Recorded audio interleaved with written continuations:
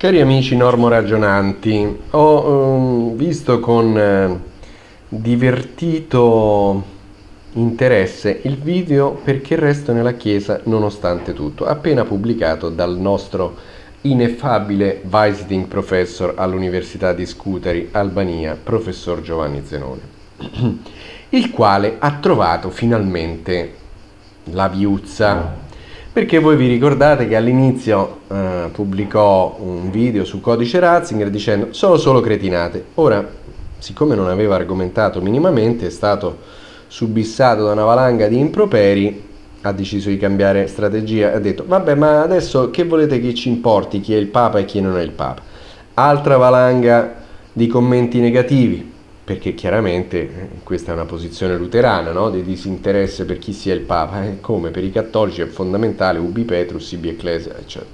Insomma, poi deve aver aggiustato un po' il tiro e ha pubblicato il libro di Michelan, che abbiamo smentito radicalmente, quello in cui si dice che Papa Benedetto non era più lui perché, immaginiamo, si era un po' rimbambito e aveva e aveva ritirato fuori una teoria della sacramentalità del Papa che pure lo stesso Michelan dice che Ratzinger non aveva mai condiviso. Vabbè, uh, adesso um, di fronte recentemente al mio invito cordiale, nonostante io abbia ricevuto insulti di tutti i generi da, da Zenone, feccia del mondo delle lettere, prostituta del mondo delle lettere, nonostante tutto sono riuscito a mandargli un messaggio pacifico, guardi, le cose stanno così, colà, eccetera, parliamone pacificamente. E lui che cosa fa? Svicola citando il beato Rosmini e dice, beh, siccome Rosmini eh, non ammetteva che si mettessero in discussione i dogmi della fede e quindi lui non accettava una discussione eh, sui dogmi della fede, anche io faccio come il Beato Rosmini, cosa che non c'entra nulla perché nessuno gli ha messo in discussione i dogmi della fede, ma si parla di una questione canonica. Lo stesso Giovanni Paolo II nella Universi Dominici Gregis parla continuamente di valida rinuncia del pontefice o di valida elezione del pontefice, quindi è una questione canonica, pratica. Adesso, adesso ha trovato una nuova formula per continuare a disertare dalla battaglia millenaria e per continuare a fare i suoi interessi indisturbato. E qual è questa, questa soluzione? È la soluzione del sedemasochismo spiritualista, cioè andatevelo a sentire, lui dice mm, ma no, bisogna guardare questa crisi della Chiesa in una prospettiva escatologica, ecco perché io non abbandono la Chiesa come fanno gli altri, e qui probabilmente si riferiva a Don Minutella, il quale non ha mai abbandonato la Chiesa cattolica, mai e poi mai, è stato punito, sanzionato, scomunicato, sospeso a divinis, spretato dagli usurpatori della Chiesa cattolica, ma lui si è sempre professato in comunione con il vero Papa e con la Santa Madre Chiesa, quindi di che cosa sta parlando Zenone? Tra l'altro possiamo ricordare anche che Sant'Atanasio fu buttato fuori dalla Chiesa cattolica nel momento in cui avevano preso il potere gli ariani, no? Quindi non è che siccome uno viene buttato fuori dalla Chiesa cattolica automaticamente si fa la chiesetta per conto suo. Mm, non sta scritto da nessuna parte, non è così. E allora che cosa dice Zenone? Dice bisogna rimanere ai piedi della croce, bisogna soffrire eh, come ha fatto Gesù e non, e non abbandonare la Chiesa perché al di fuori della Chiesa non c'è salvezza. Sentite un po' che cosa ha il coraggio di dire o più sottilmente cercando di rifugio in una chiesa, tra virgolette, che ci garantisca tranquillità, la messa e il catechismo di sempre, ma una chiesa che in teoria e nella pratica si sottrae all'autorità di Pietro, anche se Pietro è un criminale ubriaco. E certo, anche se Pietro è un criminale ubriaco, no? Quindi eh, questa è la vecchia storia del Papa eretico, purché Papa. No, sì, vabbè, Bergoglio è cattivo, brutto, eretico, apostata, eh, però è sempre il Papa e quindi noi siamo giustificati nel rimanere comodi comodi dentro la Chiesa. E questa è la soluzione. È di una tristezza infinita. Questa ipocrisia, questa viltà. Sentite come procede. Allora saremo nella logica di voler salvare noi la Chiesa come i discepoli pretesero di salvare il Signore e di voler salvare poi noi stessi, ma non nel modo in cui intendeva Gesù. Eh certo, no? Allora San Bernardo di Chiaravalle, perché sei sceso in armi con l'imperatore per spodestare l'antipapa Anacleto II? Perché poi sei riuscito a convincere l'antipapa Vittore IV a togliersi di mezzo, ad abdicare perché eh, non era il vero papa? No? Perché Santa Caterina da Siena hai preso posizione pubblica contro l'antipapa? Perché voi tutti cattolici vi siete massacrati in 2000 anni di storia della Chiesa per combattere 40 antipapi, vale a dire uno ogni sette papi?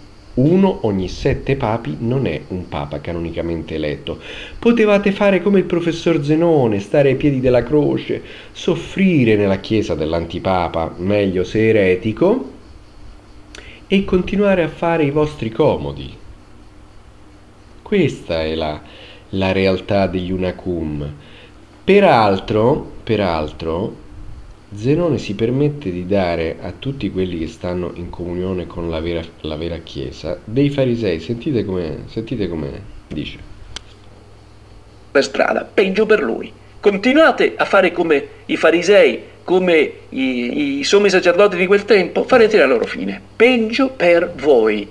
Sapete già tutto, quindi se volete persistete, ottusi, eh, psicotici a seguire uno psicotico, a seguire questa visione terra a terra invece che spirituale, peggio per voi. Ecco, la visione terra-terra è quella del diritto canonico, che è, discende direttamente dal diritto divino. Questa è la visione terra-terra secondo Zenone, no? È una questione burocratica, che volete che sia?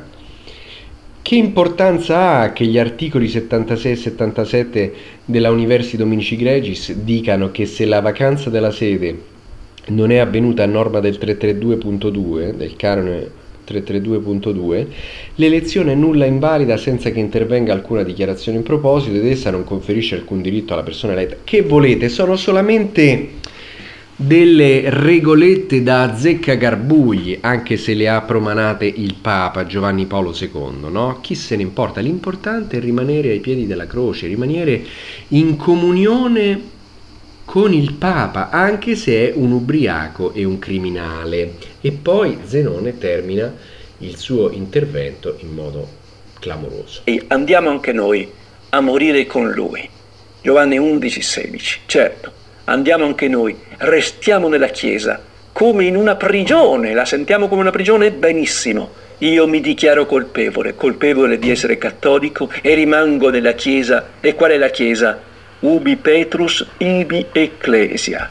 Bene, e qui direi che si potrebbe anche chiudere questo intervento, no? Ubi, Petru, ubi Petrus ibi ecclesia, ed ecco perché eh, Zenone quando gli si mostrano i documenti che spiegano in modo totale come Bergoglio non sia il Papa, lui si mette le dita nelle orecchie come Carlo Verdone e fa i versi per non sentire.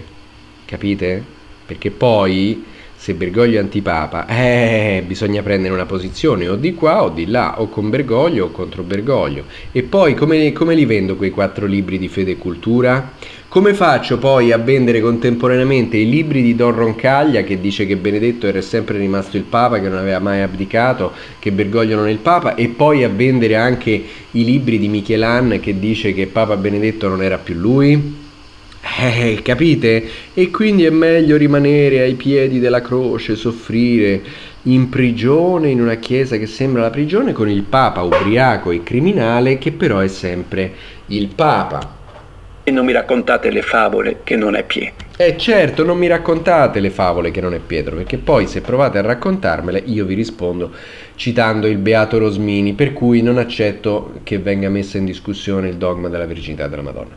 Cari amici, questi sono gli Unacum. Ehm, la, storia, la storia riserverà loro un destino atroce, probabilmente peggiore di quello dei Bergogliani, perché i Bergogliani hanno una loro dignità luciferina, eh, svolgono un, un ruolo, eh, come posso dire, escatologico, la separazione di, della Chiesa di Cristo dalla Chiesa dell'Anticristo. Ecco, invece queste minutaglie, questi residui del cattolicesimo, questi scampoli di cattolici eh, che cercano di mantenere i piedi in due staffe, saranno, eh, riceveranno il disprezzo di tutti, il disprezzo dei bergogliani, il disprezzo dei veri cattolici, ma soprattutto, in ottica di fede, il disprezzo di Dio, che vomita i tiepidi, come sapete. Voi continuate a seguire lo psicotico, ma sempre con il vaglio della ragione, perché se io sono psicotico, voi siete normoragionanti e quindi tutto quello che io dico cercate di documentarlo in modo critico, in modo rigoroso e vedete se rispondono alla realtà oppure no. Non fate come Zenone che invoca a casaccio il beato Rosmini per scappare come un coniglio dal confronto nel merito. Perché? Perché lui tiene famiglia e quindi deve, deve vendere quei quattro libretti di fede e cultura. Vi aspetto per la 45esima presentazione di Codice Ratzinger eh, il 30 a Cagliari, il 31 a Oristano, il 5 ad Anzio, il 6 a Terracina. Un caro saluto a tutti e se non vi siete iscritti a questo canale, per favore mettete clic sul tasto iscrizione. Un caro saluto a tutti, Andrea Cionci.